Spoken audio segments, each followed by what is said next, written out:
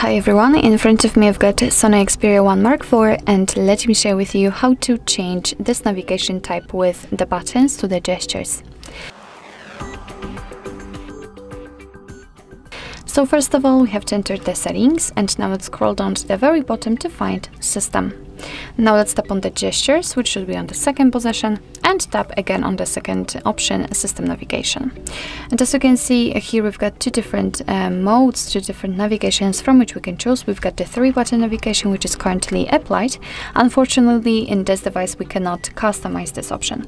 Uh, so all we can do here is to simply tap on gesture navigation in order to set the gestures. And as you can see, the buttons immediately disappeared. And right now we've got this line, which will be uh, responsible for uh, particular actions. I'll show you later on.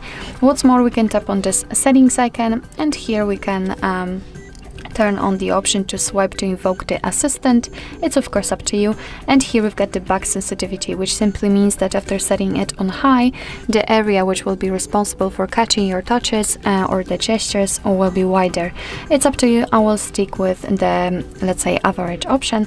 Um, and now I can show you how the gestures work. So if you'd like to get back to the previous page, all you have to do is to simply swipe your finger from the side of your device to the center, just like that, until you'll see this, uh, this arrow and it doesn't really matter if you will do it from the right or the left side. Um, it works the same. So just um, just swipe your finger. When you can see the arrow release the finger. And as you can see we just got back. Of course right here you've got the animation and you can check it.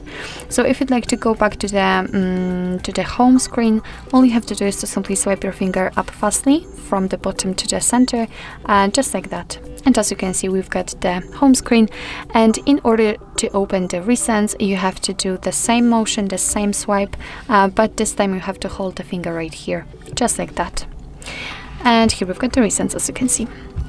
So actually this is it. This is how to uh, set the gestures set the gesture navigation type in your Sony Xperia 1 Mark IV thank you so much for watching. I hope that this video was helpful and if it was please hit the subscribe button and leave the thumbs up